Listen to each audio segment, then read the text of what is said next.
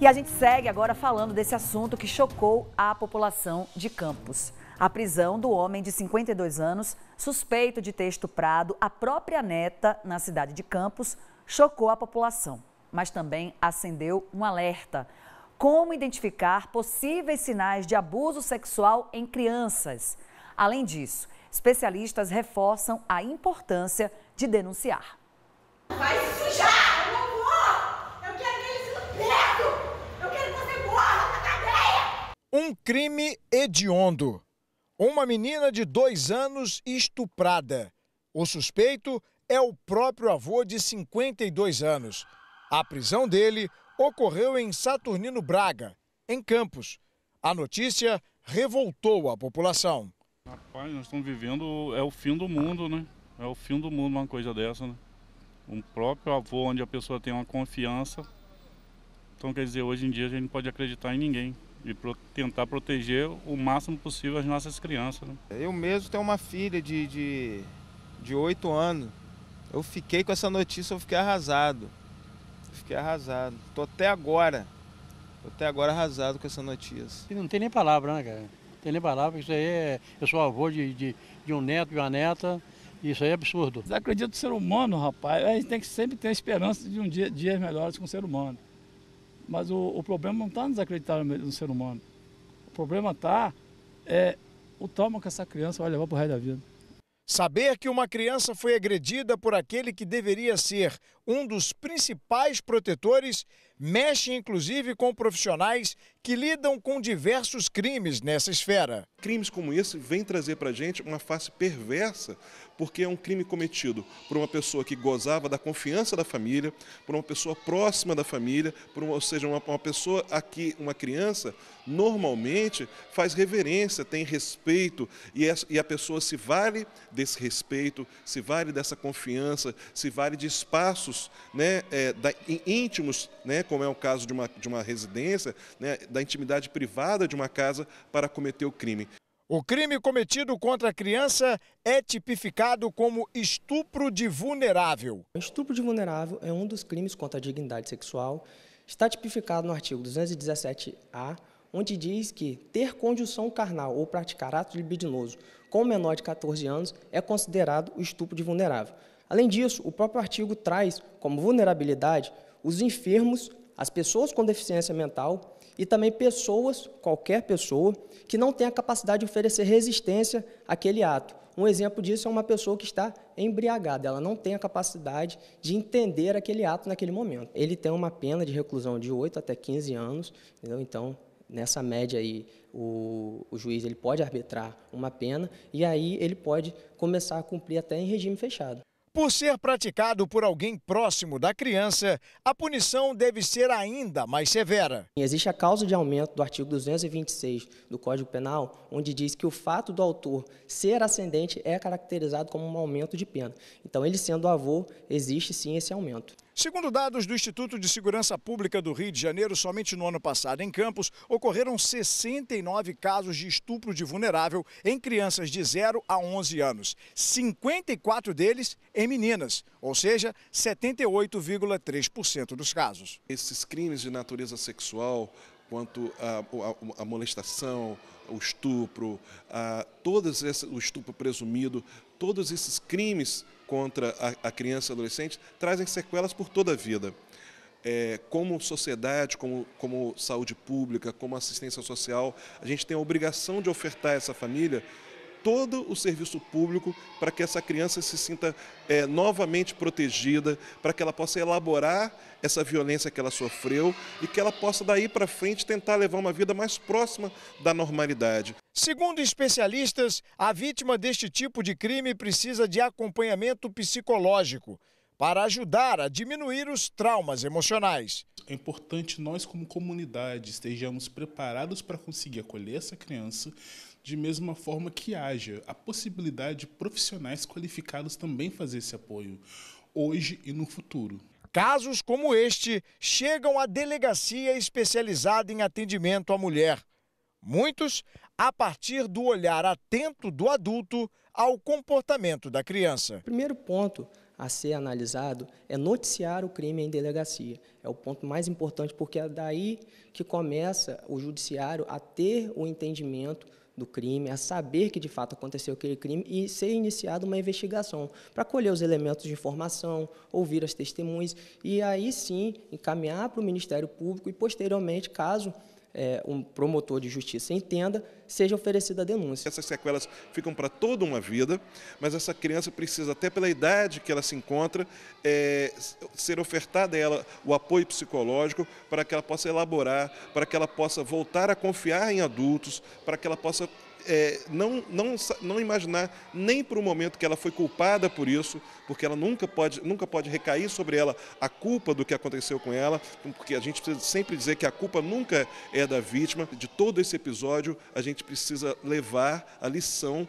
de que precisamos falar sobre isso esses abusadores precisam ter cada vez menos espaço, precisam saber que a escola vai proteger, que a creche é uma, é uma creche que protege, que a igreja que ele frequenta no, nos fins de semana é uma igreja que protege e que todos nós devemos estar preparados para é, observar essas crianças, escutar o que elas têm a dizer, dar valor ao que elas têm, o que ela, o que elas têm para dizer e, a partir daí, sempre fazer o que essa mãe fez, é, denunciar, fazer notícia crime contra esses casos, porque é sempre com atitudes como essa que a gente vai ter uma sociedade que cada vez menos permita que crianças fiquem refém de crimes como esse que aconteceu. Gente, olha só, o julgamento agora é geral. Né? Desde quando a gente colocou esse caso aqui né, no nosso balanço geral, até agora a gente vê nas redes sociais, até mesmo aqui da emissora, o julgamento um atrás do outro. E a punição, ela é fundamental a punição precisa existir para casos como esse. A justiça precisa ser feita, que acredito que é o que a família, nesse momento, a mãe, a mãe da mãe, né, todos os amigos e familiares querem e lutam e buscam, que é o que está acontecendo. A gente viu na reportagem a importância da denúncia, o desespero da mãe né, em gritar e imagina. Gente, se coloca no lugar dessa mãe, dessa filha você vê o seu pai agindo desse jeito. É muito difícil. É muito difícil para todos. E, outra, e outro detalhe, quando a gente fala de qualquer pessoa da nossa família, a gente sabe que é muito incômodo. E até mesmo quem está aí agora revoltado, é difícil compreender que isso às vezes está muito mais além do nosso entendimento. É por isso que tem que ter a justiça. É por isso que tem que ter a punição. Porque tem coisas que fogem da nossa alçada. E mais, e mais, aqui o nosso jornalismo tem esse objetivo de fazer esse papel aí como o coordenador do Fórum da Criança e do Adolescente bem disse. Precisamos falar, porque quantas pessoas podem estar passando pela mesma situação e, e isso aí, essa tragédia em família, que deixa sequelas gravíssimas, precisa ser compartilhada, porque dói. Dói quem viu, dói quem passou, a criança está sentindo, todo mundo está sentindo. Então, é muito difícil e aqui aproveito esse espaço que nós temos. Vir aqui para mim, por gentileza, para falar com toda a família.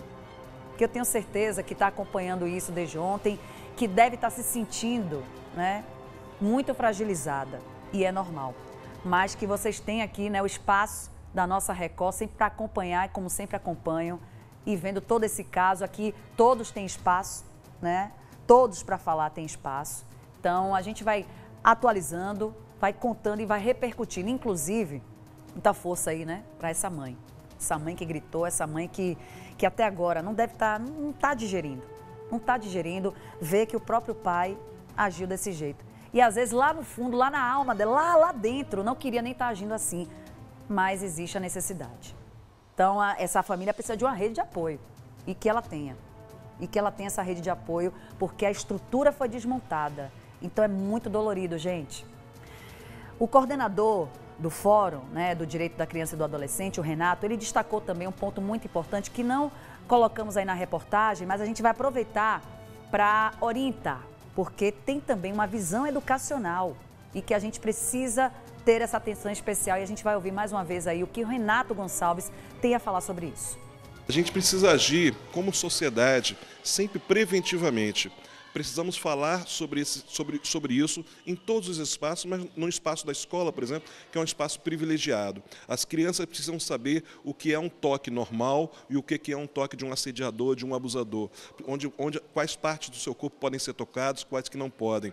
E, na, e no espaço doméstico, a gente precisa sempre observar as crianças, sempre privilegiar espaços abertos, nunca espaços confinados e sempre observar e conversar com essas crianças para que elas possam cada vez mais saber do seu, do seu próprio corpo para não permitir que o abusador é, se utilize desse espaço privado para cometer seus crimes. Pois é, e precisamos falar. Olha, gente, o nosso WhatsApp está aqui. Ao longo ainda dessa edição, a gente pode voltar a falar sobre esse tema. É muito difícil, muito delicado, mas a informação ela se faz necessária nesse momento. A informação com responsabilidade, com muito cuidado e sempre tentando ouvir todas as partes porque esse é o trabalho né, do nosso jornalismo, jornalismo com responsabilidade. Então, é ouvir todos que estão envolvidos para tentar aí, né, compreender mais e mais. É muito difícil, não é fácil, mas a justiça está sendo feita, que é o que a família mais busca nesse momento. Está aí o nosso WhatsApp, você pode comentar. Se você também quiser tirar alguma dúvida, se você quiser falar sobre esse assunto, aproveita esse espaço. Aproveita esse momento que hoje aqui a gente está tendo essa possibilidade no nosso balanço geral. Vamos seguindo e falando também de um caso muito triste, né? Um homem suspeito de abusar sexualmente da própria neta. Aliás, perdão, pensei até, eu já estava aqui, com tantos casos que a gente vai né, falando, eu pensei até que a gente ia mudar de, o, de outra situação de família, mas é a mesma, a gente vai atualizar. É isso aí. A gente vai atualizar agora com a Manuela Scala, é, porque parece que o avô foi encaminhado para o presídio. É isso, Manuela? Então, Ana Paula, na verdade, de acordo com a Polícia Civil, o suspeito poderá ser levado esta semana para uma unidade carcerária de Itaperuna devido à tipificação do crime. Ele responderá por estupro de vulnerável. Outra questão de atualização desse caso é que o pai da menina usou as redes sociais para se pronunciar sobre esse crime. Ele, antes mesmo de postar o vídeo, disse que fez esse pronunciamento em respeito aos amigos e familiares. Vamos conferir o que ele relatou. Infelizmente, eu não moro com a minha filha. Tenho uma ótima relação com a mãe dela. A gente entra de acordo com tudo, a gente agiliza tudo junto. E eu não culpo. Espero que ninguém tenha. Espero não ver nenhum comentário do tipo também. Tô aqui em defesa dela também. Eu, eu como pai, poderia muito bem culpar. Entendeu? Poderia culpá-la. Eu e a mãe dela, a gente sempre ensinou que homem nenhum deve ver ela sem roupa. Entendeu? Principalmente a mãe. Ensinou isso. Entendeu? Tanto que eu, como pai, nunca troquei ela, nunca dei banho, nunca limpei. É, a gente sempre tomou muito cuidado para que isso não fosse ocorrer. E infelizmente ocorreu do lugar onde a gente menos esperava. Entendeu? Que foi do avô que a gente tanto admirava. Queria por último aqui agradecer a todo mundo, aos amigos, a quem veio prestar apoio, a quem se importa de verdade. E a polícia, polícia civil, a todo mundo que contribuiu para que isso fosse resolvido. Entendeu? Pode ficar tranquilo que minha filha ela vai ter uma boa vida, ela vai recomeçar de uma forma melhor, se Deus quiser.